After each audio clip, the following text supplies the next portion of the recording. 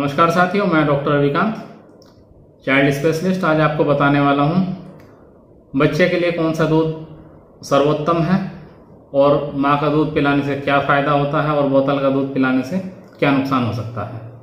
तो चलिए सबसे पहले बात करते हैं माँ के दूध से क्या क्या फ़ायदे हैं। देखिए, आप सभी जानते हैं कि भगवान ने बच्चे के लिए माँ के दूध से अच्छा कुछ नहीं बनाया। सर्वोत्तम आहार शुरू के छः महीना के लिए बच्चे के लिए माँ का दूध। और उसमें भी जो शुरुआत के दो तीन दिन माँ को गाढ़ा पीला दूध आता है, जिसको हम कोलेस्ट्रम बोलते हैं, वो तो बहुत ही ज़्यादा ज़रूरी होता है। वो तो बच्चे को पैदाइश के दो तीन दिन ज़रूर पिलाना होता है, जिसको कोलेस्ट्रम बोलते हैं, गाढ़ा पीला दूध। देखिए बच्चे के संपूर्ण विकास में बहुत मददगार होता है। बच्चे का माइंड जो है, डेवलप होता है बेहतर तरीके से, उसके जो ऑर्गन्स हैं और बेहतर तरीके से काम करते हैं। बच्चे को protein, calcium, iron adequate amount में मिलता है। इसके लिए सबसे बड़ा बेनिफिट ये होता है कि मदर और बच्चे की बॉन्डिंग डेवलप होती है। माँ को भी फ़ायदा होता है। प्रेगनेंसी के दौरान जो ओवरवेट हो जाती हैं मदर्स वो वेट भी कम हो जाता है अगर बच्चे को दूध पिला, पिलाती हैं। इसके अलावा देखिए हाइजीन मेंटेन रहती है। आपको कहीं अलग से दूध को उबालना, ठंडा करने की ज़रूरत नहीं है। बिल्कुल एडिक्वेट टेम्परेचर पर बच्चे को मिलता है। जब बच्चा डिमांड करता है, तब मिलता है। आपको कोई बर्तन नहीं धोने पड़ेंगे कहीं। ठीक है? बिल्कुल साफ़ सफ़ाई से बच्चे के लिए दूध हमेशा तैयार रहता है। तो माँ का दूध अगर बच्चे को आप पिलाते हैं तो उससे अच्छा कुछ नहीं होता है। ठीक है, कोशिश यही करिए कि माँ का दूध ही बच्चे को शुरुआत के छह महीने पिलाया जाए। अब कुछ लोग बोलते हैं कि हम बोतल से दूध पिलाते हैं तो घर का कोई भी सदस्य दूध पिला सकता है, ये फ़ायदा है। ठीक है, या कई बार बोलते हैं कि हम ट्रैवल में जा रहे हैं, या कहीं और हैं तो या वर्किंग मदर्स हैं तो उसके लिए हम वो बोतल को प्रीफर करते हैं। देखिए, बोतल को हो सकता है आप दो, तीन फ़ायदे गिना दें, पर नुकसान बहुत ज़्यादा है। ठीक है, मैं ये भी बताने वाला हूँ कि अगर बोतल से ही मतलब अगर माँ नहीं पिला सकती है तो किस तरीके से पिलाएँ, पर पहले हम बोतल के नुकसान जान लेते हैं। देखिए, सबसे पहली बात तो हाइजीन की कमी होती है।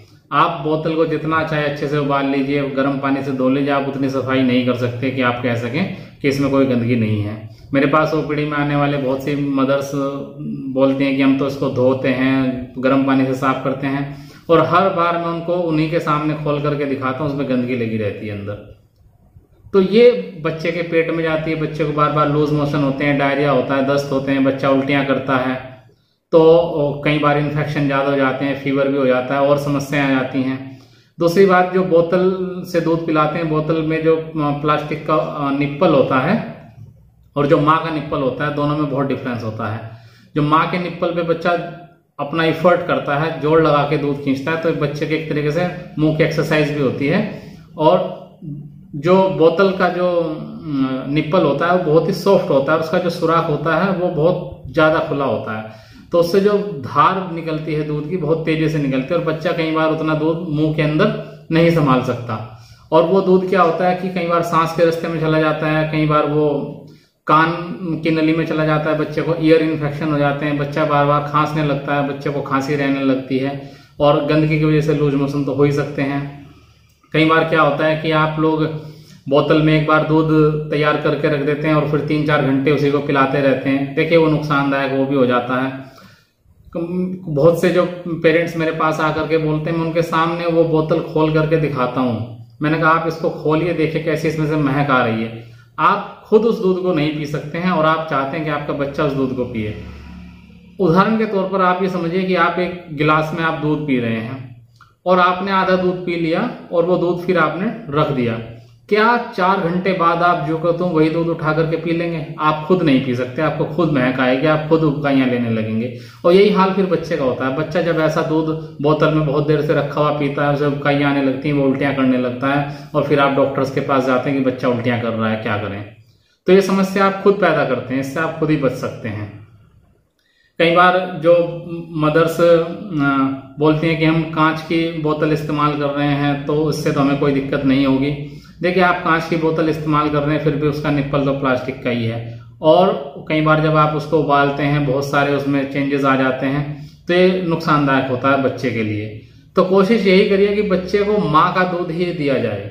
लेकिन अगर फिर भी कोई ऐसी समस्या है, या वर्किंग मदर है, या माँ को बहुत ही कम दूध आ रहा है, या कोई बीमारी की वजह से नहीं पिला पाती है, हालाँकि मैक्सिमम तो ऐसा होता है कि मदर को कभी कॉन्ट्राइंडिकेशन होता ही नहीं है कि वो दूध ना पिलाए, दो चार कंडीशन को छोड़ करके। जैसे अगर किसी की थायराइड की कोई दवा चलती है या कैंसर वगैरह की तो इस तरह की कंडीशन में तो बोलते हैं अदरवाइज़ तो कैसा भी कोई बीमारी हो तो भी हम कभी नहीं बोलते कि माँ का दूध नहीं पिलाना है। माँ का दूध तो बच्चे को, के लिए बेस्ट है ही, लेकिन कभी अगर ऐसा हो कि माँ का दूध नहीं हो पा रहा है और ऊपर से दूध पिलाना ही पड़े, चाहे आप फार्मूला मिल्क पिलाते हैं या और कोई मिल्क पिलाते हैं तो कोशिश ये करिए आप कटोरी चम्मच से पिलाएँ उसको।